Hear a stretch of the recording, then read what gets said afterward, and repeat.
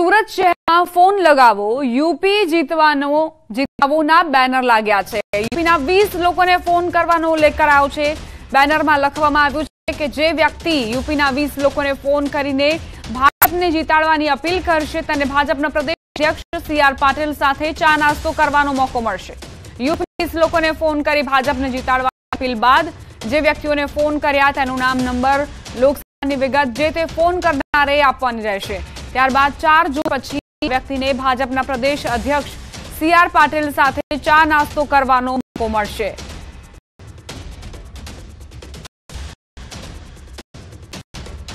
Madhav group of companies પર IT વિભાગ સપાટો આવકવેરાના અધિકારીઓ પોલીસ બંદોબસ્ત સાથે પહોંચ્યા છે.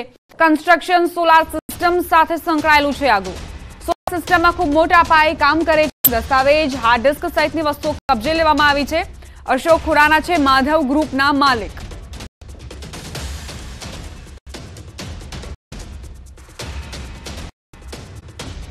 આવકવેરા વિભાગનું મેગા ઓપરેશન અમદાવાદ, વડોદરામાં આવકવેરા વિભાગની તપાસ. ખુરાના ગ્રુપ માધવ કન્સ્ટ્રક્શન પર આઈટીની તપાસ ચાલી રહી છે. વડોદરા ખુરાના ગ્રુપના અશોક ખુરાના સહિત ભાગીદારોની તપાસ કરાઈ રહી છે. કન્સ્ટ્રક્શનના સુધીર ખુરાના, વિક્રમ ખુરાના અને આશીષ ખુરાનાને ત્યાં પણ તપાસ હાથ ધરાઈ છે. સત્યાવીસ જગ્યાએ દરોડા સર્વેની કામગીરી કરવામાં આવી રહી છે. તપાસના અંતે મોટા પાયે બેનામી વ્યવહાર મળે તેવી પૂરી સંભાવના.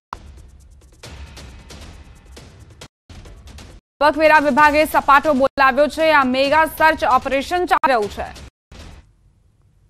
અમદાવાદ અને વડોદરામાં ઇન્કમટેક્સ વિભાગનું સર્ચ ઓપરેશન ચાલી રહ્યું છે. અમદાવાદમાં અને બરોડામાં કુલ મળીને સત્યાવીસ કરવામાં આવી રહ્યું છે.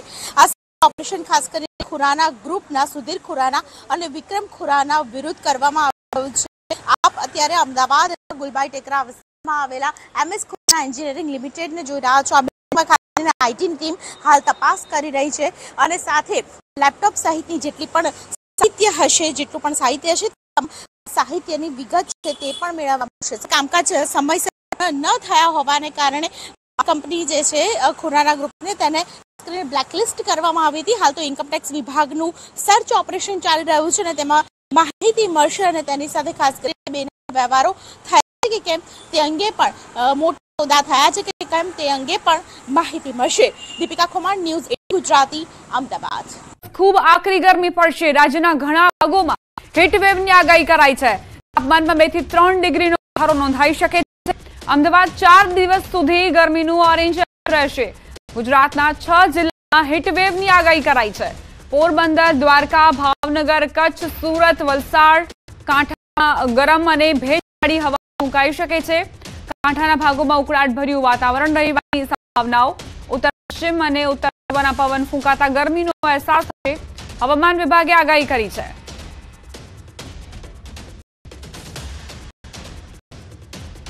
अगर हम बात करें हीट वेव की तो गुजरात रीजन में जो सूरत जो है, दो डिस्ट्रिक्ट साउथ गुजरात के, जिसमें अगले पाँच दिनों तक हीट वेव कंटिन्यू करने के चांसेस हैं।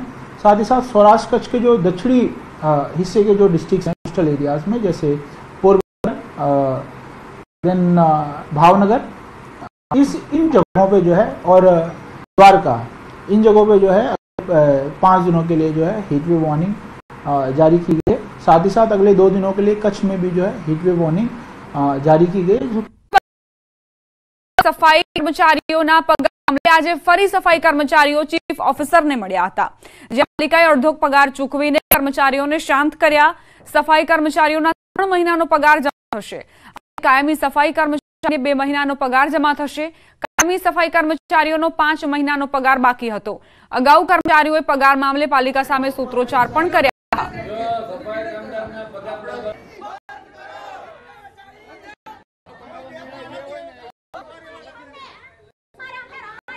સંવાદદાતા રાજન જોડાઈ ગયા છે વધુ જાણકારી સાથે.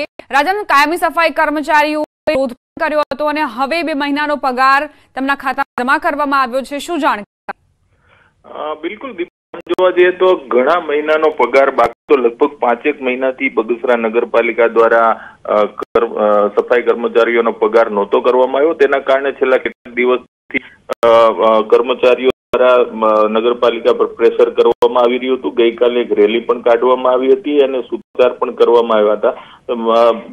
એ જ રીતે આજે પણ થયું હતું, પરંતુ હવે નગરપાલિકાએ પગાર જમા કરાવ્યો છે અને બીજા પૈસા છે એ આગામી દિવસો જમા કરાવવાની વાત પણ કરી છે. આભાર, રાજન. જાણકારી આપવા માટે? તો ઘણા સમયથી સફાઈ કર્મચારીઓનો પગાર નહોતો થઈ રહ્યો. આખરે સફાઈ કર્મચારીઓ વિફર્યા અને વિરોધ કર્યો. બાંયધરી આપી છે પગાર ચૂકવણીની. અમદાવાદથી અમદાવાદમાં બનાવટી પાવર ઓફ એટર્ની કરીને જમીન છેતરપિંડી કરનારને પોલીસે ઝડપી પાડ્યા છે. આરોપી સજ્જુ શેખે અબ્દુલ સલામ મંસૂરીની સત્યાવીસો ચોરસ મીટર બિનખેતીની જમીન પડાવી લેવાના આશયથી બનાવટી પાવર ઓફ એટર્ની બનાવી હતી, જેમાં ફરિયાદીની હાજરી વગર તરંગ દવે નોટરાઇઝ કરી તેમાં નોટરીના સહી સિક્કા પણ કરી આપ્યા હતા. નોટરી રજિસ્ટરમાં નોંધણી કર્યા વગર ખોટો નોંધણી નંબર નાખીને નોટરાઇઝ કરી આપી હતી. જમીનના રેકોર્ડ પર પોતાનું નામ દાખલ કરાવ્યું હતું. બાદમાં બંને આરોપીઓએ આ જમીનમાં લિટિગેશન ઊભું કરીને સમાધાન પેટે રૂપિયા બાર કરોડની ખંડણી માંગી હતી. સમગ્ર ઘટનાની જાણ પોલીસે બે આરોપીઓની ધરપકડ કરી છે. પોલીસને સજ્જુના ઘરેથી અલગ અલગ વ્યક્તિના નામે કુલ છ દસ્તાવેજની ફાઇલો તેમજ ઓફિસમાંથી પંચ્યાસી જેટલા દસ્તાવેજ મળી આવ્યા હતા. જ્યારે આરોપી તરંગ દવેના ઘરેથી નોટરી રજિસ્ટર કરવાના સોળ રજિસ્ટર મળી આવ્યા હતા. જે અંગે પોલીસે વધુ તપાસ શરૂ કરી છે.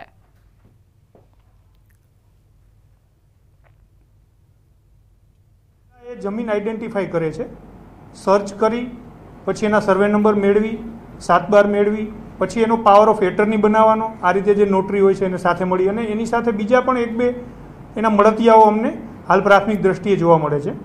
અને ત્યાર પછી એ ખોટા પાવર ઓફ એટર્નીનો જ ઉપયોગ કરી અને દસ્તાવેજ બનાવી અને પછી જે જમીનના મૂળ માલિક જે છે, સાચા માલિક છે, એઓને એન કેન પ્રકારે દબાવી અને પૈસા પડાવવાનો જે એક પ્રકારનો ધંધો અમને પ્રાથમિક દ્રષ્ટિએ જોવા મળે છે. પ્રાપ્ત થઈ રહ્યા છે. દમણમાં બારમાં લોહિયાળ બબાલ થઈ છે. બારમાં પાસે ટેબલ પર બેઠેલા વ્યક્તિ વચ્ચે બોલાચાલી થઈ હતી. પાર્ટી કરવા બેઠેલા વ્યક્તિઓ વચ્ચે બોલાચાલી થઈ. બોલાચાલી થતાં મારામારી સુધી વાત પહોંચી ગઈ. પચીસ વર્ષીય યુવકની હત્યા કરાઈ છે અને બે વ્યક્તિઓ ઘાયલના સમાચાર. ઘાયલોને હોસ્પિટલ ખસેડવામાં આવ્યા. આરોપીને શોધવા માટે દમણ પોલીસની ટીમ તપાસમાં જોતરાઈ છે. તો બોલાચાલીએ કઈ રીતે મામલો બગાડ્યો? એક વ્યક્તિની હત્યા કરી દેવામાં આવી. પચીસ વર્ષીય યુવક જેને મોતને ઘાટ ઉતારવામાં આવ્યો. બીજી તરફ બે વ્યક્તિઓ જેમને ઈજા પહોંચી છે અને તેમને હોસ્પિટલમાં સારવાર માટે ખસેડવામાં આવ્યા છે. આરોપીને શોધવા માટે પોલીસ અહીં મથામણ કરી રહી છે. બારમાં આ લોહિયાળ બબાલ થઈ, જેમાં એક વ્યક્તિ જે મોતને ભેટ્યો છે. બોલાચાલી બાદ મામલો વિફર્યો અને બંને પક્ષ સામસામે આવી ગયા. મારામારી પર ઉતરી આવ્યા. એકબીજાને એટલા હદ સુધી મારવામાં આવ્યો કે પચીસ વર્ષીય યુવકે પોતાનો જીવ ગુમાવી દીધો. તેની હત્યા કરવામાં આવી.